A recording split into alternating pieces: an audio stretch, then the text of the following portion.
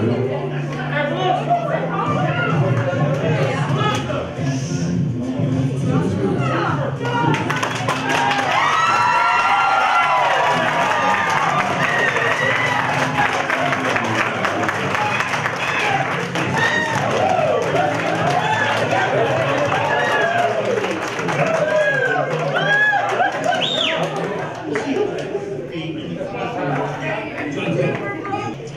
With the 58th pick in the 2013 NFL Draft, the Denver Broncos select Monte